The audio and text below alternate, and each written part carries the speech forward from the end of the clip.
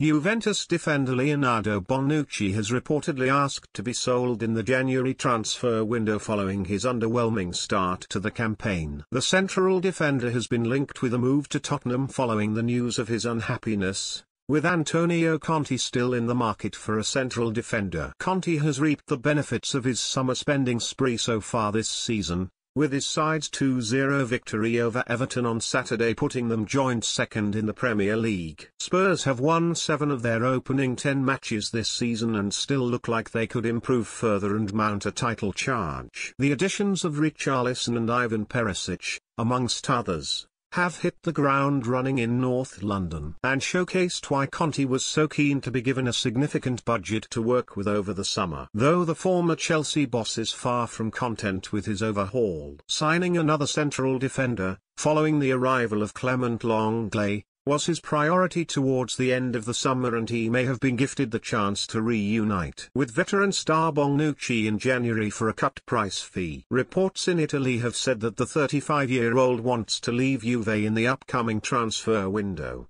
with his relationship with manager Massimiliano Allegri broken. Giulio Molla has reported that Tottenham are keeping tabs on the central defender and that there is a chance he heads to the Premier League to reunite with Conte. The pair worked together at Juve between 2011 and 2014 when the manager led the club to three consecutive Serie A titles and formed one of the strongest defences in the league's history. Bonucci, Giorgio Chiellini and Andrea Barzagli were a rock-solid back three for Conte and provided a strong foundation for the attacking players to build upon. And the manager could be tempted to bring in a sprinkling of experience if Bonucci is available. Given the Italy international's age, it is unlikely that Tottenham would need to table a considerable bid for his services. His valuation will certainly have decreased following his underwhelming start to the campaign, which has seen him become a rotational player at the Allianz Arena rather than one of the first names on the team sheet like he once was. Tottenham's victory over Everton means that it has been their best start to the season in almost 60 years. Conte said that he hopes that fans will see that the players intend on continuing this rich vein of form,